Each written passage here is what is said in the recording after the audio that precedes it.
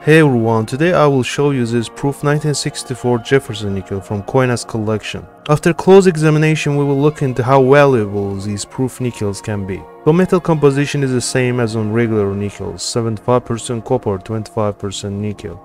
Only difference is that production process is more defined, intricate and shinier. Coin was kept inside this holder for quite a long time and had some contact with humidity for sure which is obvious when we pay attention to the rusty surfaces of those four staples. But that's why you should always keep your coins in airtight holders, cellos, capsules or slabs, cause we see no tarnish or patination on either side of this superb gem.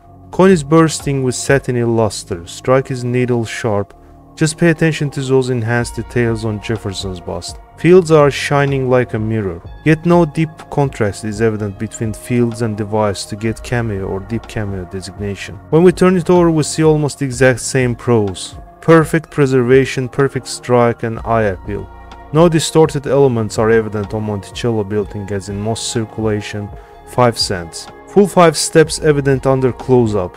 Philadelphia Mint struck nearly 4 million proof nickels in 1964.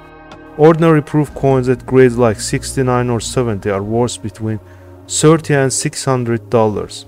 Examples can easily be found in PR68 grades and lower without much effort. Even in PR69 conditions they are abundant, with thousands of examples available.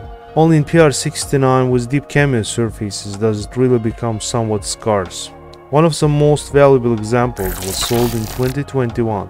This flawless untoned nickel at PR69 grade with deep cameo feature was sold for $470 at Legend Rare coin auctions.